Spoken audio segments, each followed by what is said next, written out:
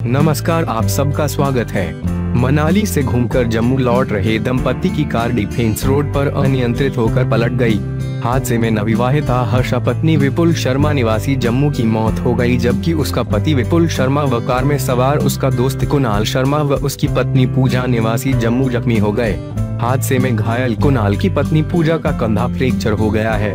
हादसे के बाद कार बुरी तरह क्षतिग्रस्त हो गई।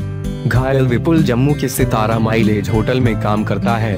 हादसा रविवार सुबह सात बजे डिफेंस रोड, विक्टोरिया एस्टेट के पास हुआ। जम्मू की रहने वाली हर्षा की करीब एक महीने पहले ही विपुल के साथ शादी हुई थी। जम्मू से 7 दिसंबर को दोनों दोस्त अपनी पत्नियों के साथ मनाली घूमने गए थे।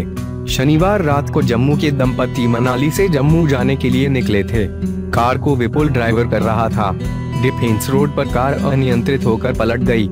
यहाँ से गुजर रहे लोगों ने घटना के बारे में पुलिस को सूचित किया। घायलों को सिविल अस्पताल में पहुँचाया गया।